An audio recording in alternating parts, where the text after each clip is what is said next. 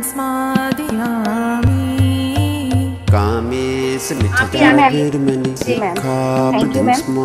जय भीम नमो बताए सभी साथियों को। जय भीम नमो जी मैम। योगिता बहन जी ने जैसे दो बातें बताई उन्हीं पर मैं आगे कंटिन्यू करना चाहूँगी पहले तो कि एक तो उन्होंने फूलन देवी जी के पूरा उनका जीवन पूरा जीवनी उन्होंने बताई।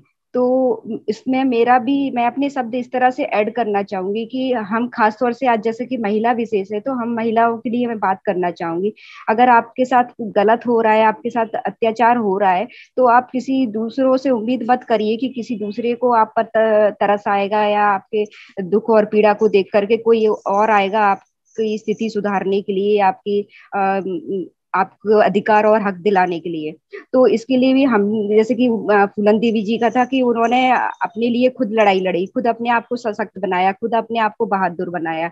तो इससे हमें यही प्रेरणा लेनी चाहिए कि आपको खुद अपने लिए प्रयास करने होंगे। कोई भगवान नहीं आएँगे और किसी को कोई तरस नहीं आएगा कि वो कोई और आकर के आपकी मदद करे। तो एक तो हमें ये बात सीखनी चाहिए और हमेशा अपने जहन में रखना चाहिए कि आपकी दुख, आपकी पीड़ा आपके साथ हो रहे। हिंसा, अत्याचार के लिए आपको खुद ही लड़ना पड़ेगा।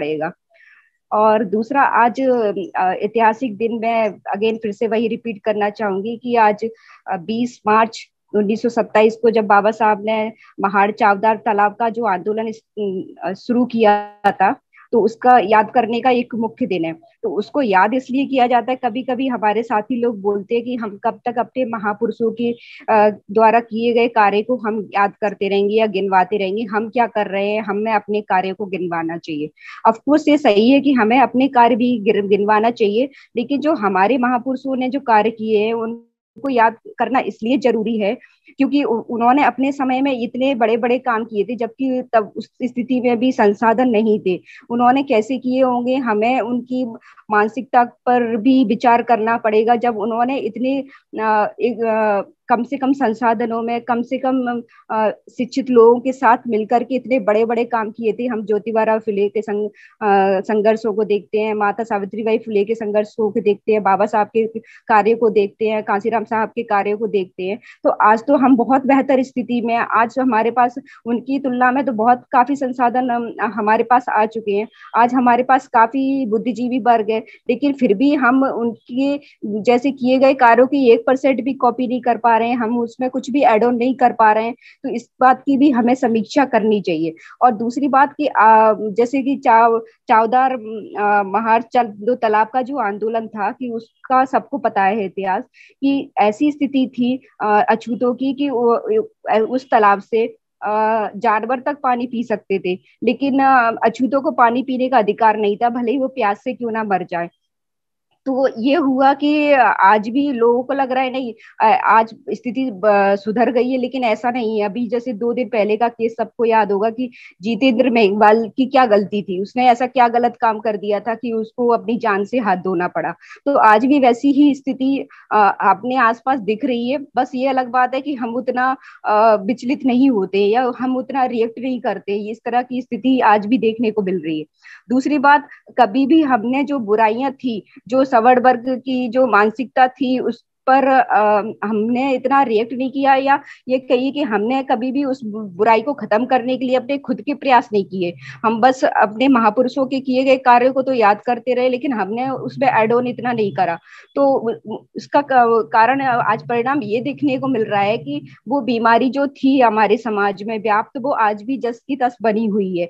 और अफकोर्स बीमारी को जब तक जड़ से नहीं मिटाया जाएगा बार बार उसके लक्षण देखने को मिलेंगे। यही कारण है कि आ, आज भी कहने को हम इक्कीसवीं सदी में हैं कहने को हम आज़ाद देश के वासी हैं। लेकिन हमारे आज भी अधिकार के मामले में बात की जाए हमारे प्रतिनिधित्व की निधित्व की बात की जाए हम, हमारे अधिकारों की बात की जाए आज भी हमें हमारे पास बहुत कुछ नहीं है। आज भी हम आ, प्रयासरत है। आज भी हम कोशिश कर रहे हैं कि नहीं हमें भी समानता चाहिए हमें भी हक सम, अधिकार चाहिए हमें भी सम्मान चाहिए हमें भी अपने अनुसार अपने संविधान के अनुसार काम करने की आज़ादी चाहिए। आज भी हम उसी अ, अ, कतार में लगे हुए हैं।